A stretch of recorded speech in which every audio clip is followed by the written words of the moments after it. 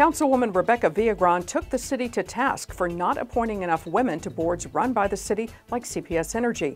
Viagran voted against the appointment of Willis Mackey this week, not because of Mackey, but she questioned why there are no women on the CPS Board of Trustees. If the San Antonio Housing Authority gets a grant to demolish and rebuild Alazan Courts on the west side, two developers are planning to partner with Saha to build new apartments and lofts on that site. Saha has applied for the grant, but the agency won't know until later this year if it will win that federal funding. Tony Quesada with the San Antonio Business Journal joins us now for the business news update. Thanks, Sherry. C.H. Guenther & Son, the iconic San Antonio-based food products maker, has been acquired by Chicago-based private equity firm PPC Partners. Financial terms of the deal were not disclosed.